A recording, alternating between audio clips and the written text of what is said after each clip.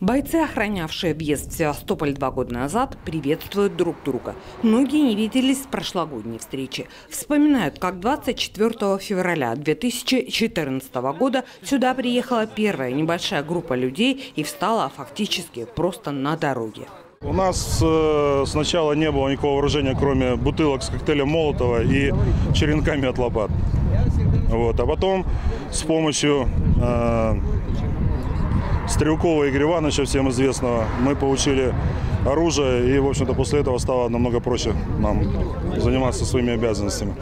Бойцы блокпоста неоднократно изымали у автомобилистов, ехавших в Севастополь, травматическое оружие. Находили в машинах и бейсбольные биты, и холодное оружие. Мерзли, мокли под дождем, но стояли. Ведь за спиной был Севастополь, а перед лицом дорога, по которой в город могли прорваться радикалы. Наверное, на тот момент мы не осознавали э, еще э, серьезной опасности, э, но по мере поступления информации из СМИ вот, мы понимали нашу ответственность.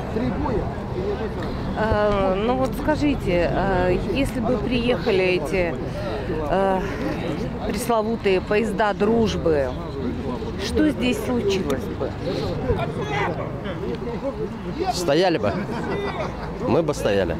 На блокпост пришли и женщины. Нужно ведь было обустроить быт бойцов, наладить их питание. Вы понимали, что это самый первый и самый опасный, в общем-то, блокпост?